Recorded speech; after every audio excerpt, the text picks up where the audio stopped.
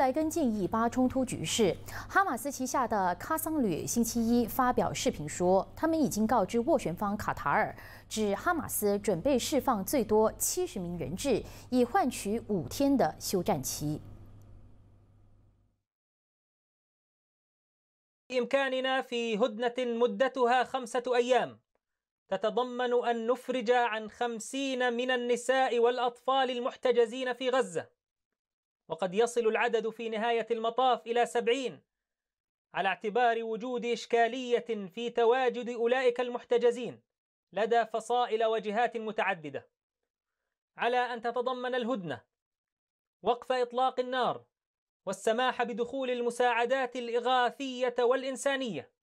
لجميع أبناء شعبنا في جميع أنحاء قطاع غزة. لكن العدو ما زال يماطل ويتهرب. من دفع هذا الاستحقاق